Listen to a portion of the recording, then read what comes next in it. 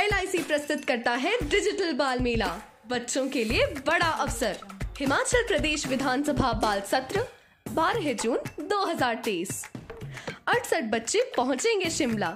इक्कीस हज़ार का इनाम। नमस्कार, मेरा नाम नम्रता गौतम है। मैं राजकीय वरिष्ठ माध्यमिक विद्यालय बखालग में पढ़ती हूँ। मैं बखालग में बारहवीं कक्षा की छात्रा हूँ। देश का प्रधानमंत्री एक महत्वपूर्ण पद होता है। संपूर्ण मंत्रिमंडल का नेता प्रधानमंत्री ही होता है। तो प्रधानमंत्री के पद पर कार्य करना कोई ऐरी गहरी बात नहीं है। यदि मुझे प्रधानमंत्री बना दिया जाए तो यह मेरे लिए बहुत ही सौभाग्य की बात होगी। मैं प्रधानमंत्री पद पर पूरी निष्ठा से कार्य करूँगी।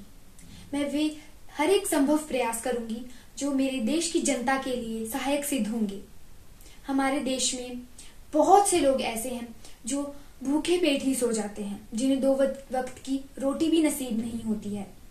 तो मैं उन्हें हर, उनकी हर आवश्यकता को पूरा करने के लिए, हर संभव प्रयास करूँगी।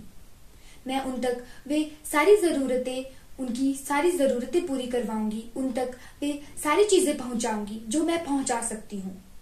मैं देश के कोने कोने से गंदगी साफ़ करवा दूँगी। मैं देश की स्वच्छता का पूरा ध्यान रखूँगी। मजदूर वर्ग, किसान वर्ग को वे सारी योजनाएँ प्राप्त करवाऊँगी, जिनके वे हकदार है। उनके भविष्य के लिए हर एक संभव प्रयास करवाऊँगी।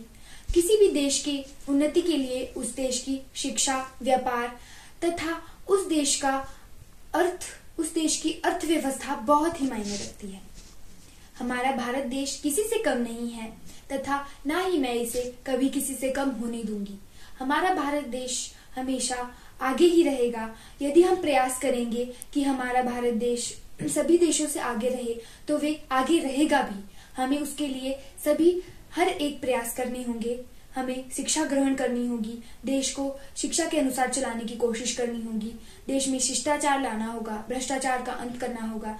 यदि मुझे प्रधानमंत्री बना दिया जाता है तो मैं अपराधियों को कड़े से कड़ा दंड दूँगी तथा भ्रष्टाचार को कम करने की पूरी कोशिश करूँगी। धन्यवाद, जय हिंद, जय भारत।